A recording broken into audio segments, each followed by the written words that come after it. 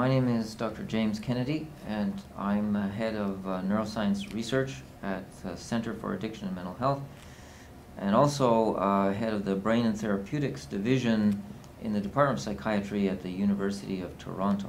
And I'm Candi Gogar. I'm Research Legal Counsel at CAMH. Today, uh, we're going to be discussing the topic uh, legal considerations uh, in pharmacogenetic testing.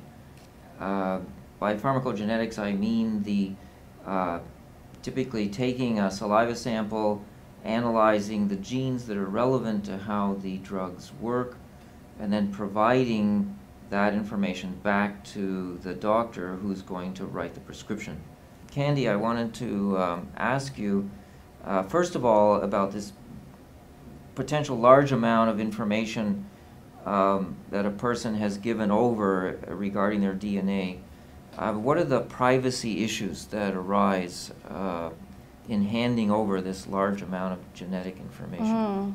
Well, privacy is a hot topic in research these days um, because of that, because there is this information that is um, given by a patient the, with the expectation of some certain confidence and um, the potential for it to um, get out there and uh, be misused by people who weren't supposed to have the information is great. So there um, has been legislation enacted that sort of comes in and, and supports that and, and, lays out what a person can and cannot do with uh, somebody's information. One of the ones is PHIPA, which is the Personal Health Information and Protection Act in Ontario.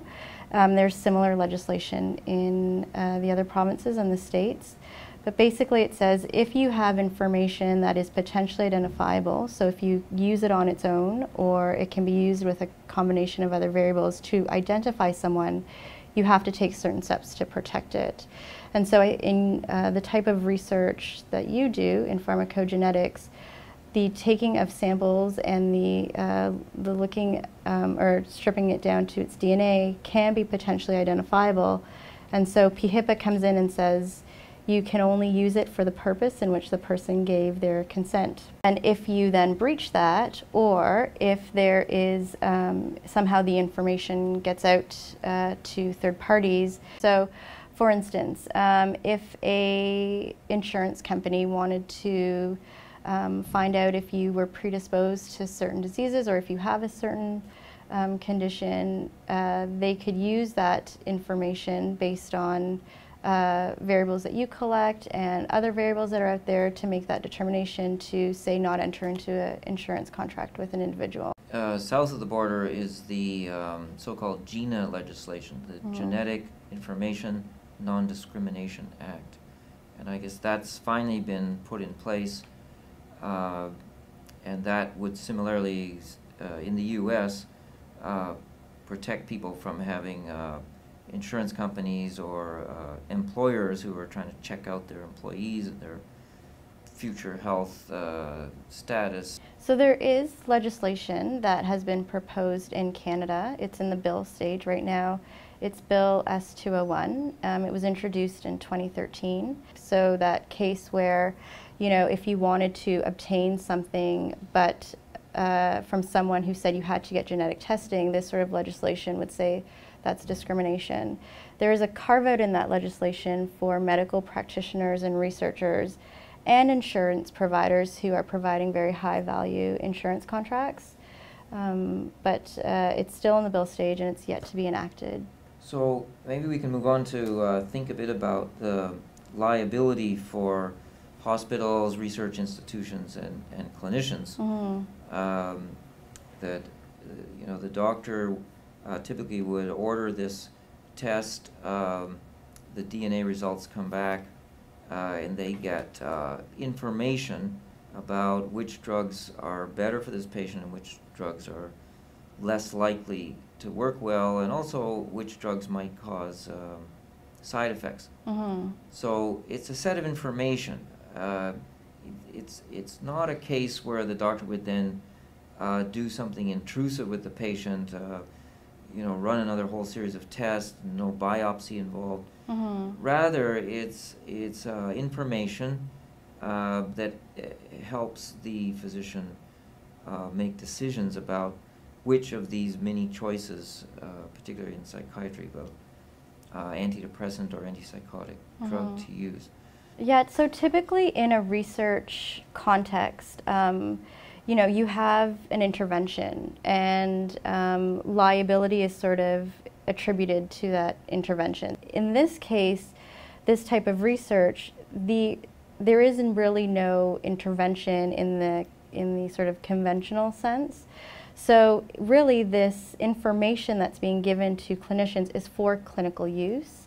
And so, I, if there was to be third a third party claim, so a patient, for instance, says, you know, I was harmed because I was changed, the medication I used was changed, and now um, I, I, I want to um, I want to sue my doctor. Um, you know, they could potentially sue everyone involved. But I think what is most important is a court will look at where did the negligence lie. And so, if the negligence lay in the information that was given by the researcher, um, then you know there may be potential liability there. If the if the negligence lay in the in the clinician, who's the primary caregiver, sort of um, giving uh, or changing the prescription of someone without sort of really using good clinical judgment, potential liability may lie there. Or they may just say this is as a result of this would have been done in sort of the standard course or standard of care, and so um, the there would be no liability on either of those parties. The uh, maybe the final issue to discuss, I think, is is uh, the ownership of DNA and the ownership of you know research tissue. Mhm. Um, and uh, a, a sort of starting conversation there is the, the whole story of Henrietta Lacks, Mhm. uh, where you know decades ago uh, tissue was obtained from her and uh, was converted into what we call HeLa cells using Hmm. her initials. And these cells were then um, uh, distributed by the research physicians. They were very useful, and the physicians made a lot of money on Mhm. selling these uh, constantly replicating cells. Mhm. Yeah, so ownership is really um, an interesting case. So, as the research has sort of evolved, the um, idea of who owns what has also kind of um, evolved. And uh, with Henrietta Lacks, you know, it was at a time where uh, research procedures and obtaining consent were not as um, at the forefront of researchers' minds as they are now, and, and what you can and cannot do with with uh, research. What has happened, sort of, um, in terms of ownership, has really happened south of the border.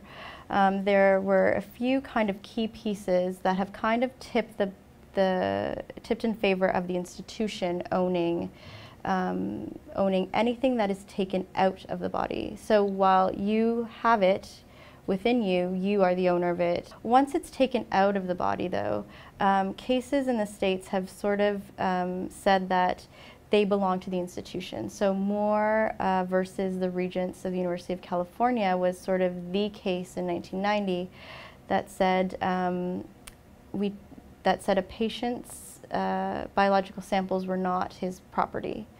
Um, fast forward to 2000, 2003, um, there was a case, uh, Greenberg versus Miami Children's Hospital. The patient's parents um, gave consent to take cells from their children to develop a diagnostic test free of charge to be used uh, in the future. And the hospital took that and, and uh, commercialized it. So you had to pay for this, um, pay for this certain procedure. And the, um, the patients and their parents said, well, that's not what we agreed to. And the court actually found that once the tissue was removed from the individual, that um, it was now the hospital's. Um, and so they had sort of free rein to use it as, as, as they would. When it comes to, you know, precise ownership, uh, I guess it's a bit more, um, less clear, but, but moving in the direction of the, the research institution owning the samples. Mhm. Sort of in Canada, we haven't definitively answered this question. Earlier this year, there was a motion that was decided by a master who um, was looking at whether uh, cells were the property of the individual who was deceased during the case or at the time of the hearing, or uh, whether it was the hospitals. And the court came back and found that cells, after they're taken out of um, an individual, actually become part of the medical record of the hospital. And so they are owned by the institution, and the institution can, can, um, can do what they want with them.